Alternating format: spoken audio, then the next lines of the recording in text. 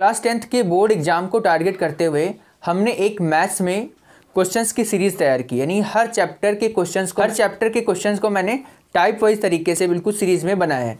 Type wise तरीके से ये होता है कि हमें पता चलता है कि क्वेश्चन हमें किस किस प्रकार से पूछे जा सकते हैं। तो जब वो क्वेश्चन टाइप वाइज होंगे और उनके कुछ सब क्वेश्चन होंगे, यानी कि एक क्वेश्चन मैं आप यहाँ पर समझाऊँगा उसके बाद दो या तीन क्वेश्चन या इससे भी ज़्यादा क्वेश्चन आपको मिलेंगे आपको करने के लिए। उनको करके हमें उसका आंसर कमेंट बॉक्स में आपको बताना होगा। जिससे ये पता चलेगा कि हाँ आपकी प्रैक्टिस भी साथ में होती रहेगी और आपको ये भी पता चलता रहेगा कि क्वेश्चन हमसे किस प्रकार से पूछे जा सकते हैं। तो आपको उन क्वेश्चंस के आंसर मतलब सॉल्व करना है, उसके बाद उसके आंसर हमें कमेंट बॉक्स में। तो चलिए स्टार्ट करते हैं। आज हम लोग स्टैटिक्स यानी सांख्यिकी का type number one type number one जो है, समांतर माध्य, यानी कि अरिथमेटिक मीन कहें, या फिर मीन कहें, सिर्फ़ यानी माध्य कहें, या फिर औसत, यानी इसके तीन नाम हैं, समांतर माध्य माध्य और औसत। तीनों नाम एक ही चीज़ के हैं, ठीक है? तो कुछ भी पूछा जाए, हमें काम बस वही करना है। समांतर माध्य क्या होता है? इसमें कुछ भी, जो भी नंबर्स यानी जो भी उनको कहा जाता है, हिंदी में जब आप पढ़ेंगे तो उसको कहेंगे प्रेक्षण। तो प्रेक्षणों का योग, यानी जितने भी जितने भी नंबर दिए गए हैं, उनको हमें सम करना, यानी जोड़ना है। उसके बाद जितने में, वो टोटल नंबर कितने हैं? फाइव हैं सिक्स हैं सेवन हैं, जितने भी हैं, उससे उसको डिवाइड करना है। और फिर जो हमें आंसर मिलेगा, वही हमारा क्या होगा? समांतर माध्य। समांतर माध्य को हम एक्स और ऊपर बार, यानी कि ऐसे डिनोट करते हैं। एक्स एंड ऊपर एक लाइन तो ये हो जाएगा हमारा समांतर माध्य।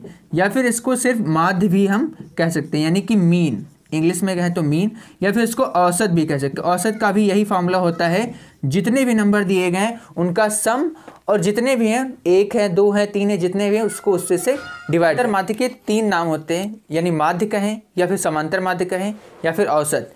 यानी कि मीन एरिथमेटिक मीन, या फिर एवरेज तीनों का तीनों जो है फॉर्मूला होता है बिल्कुल सेम ही होता है। तो जिसका फॉर्मूला होता है वो होता है समांतर माध्य बराबर प्रेक्षणों का योग, यानी सम ऑफ़ ऑब्जर्वेशन अपॉन प्रेक्षणों की संख्या, यानी जितनी भी हो नंबर ऑफ़ द ऑब्जर्वेशन यहाँ बात करें प्रेक्षणों, यहाँ पे क्या हम संख्या वर्ड यूज़ कर सकते हैं, जो भी नंबर दिए गए हो।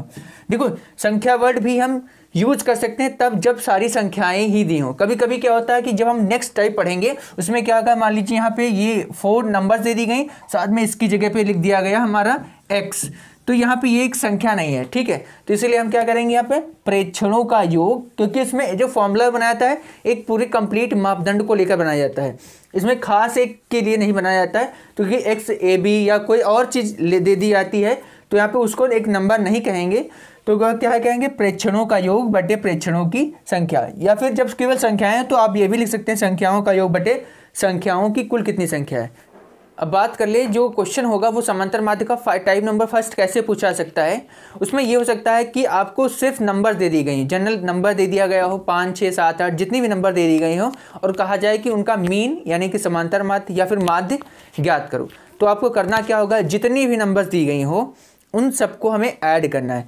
और जितनी नंबर हो five number six number seven जितनी भी हो, उससे उनका जो सम होगा, उसको हमें डिवाइड करना पड़ेगा। जैसे कि यहाँ पे है, पाँच विद्यार्थियों की जो हाइट है, वो क्रमशः क्या है? सौ है, एक सौ बीस, एक सौ पैंतीस, एक सौ चालीस और एक सौ पचास सेंटीमीटर है। यानी कि चाहे माध्य कहा जाए या समांतर माध्य कहा जाए, औसत, सबको काम हमारा वही करना है। तो करेंगे क्या?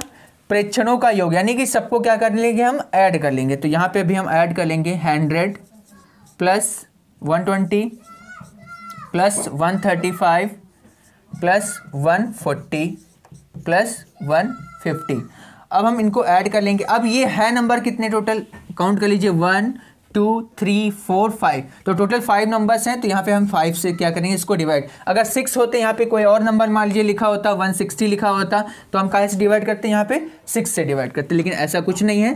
तो हम सिर्फ़ फाइव से ही डिवाइड करेंगे। अब सबको ऐड कर लेंगे और देखते हैं कितना।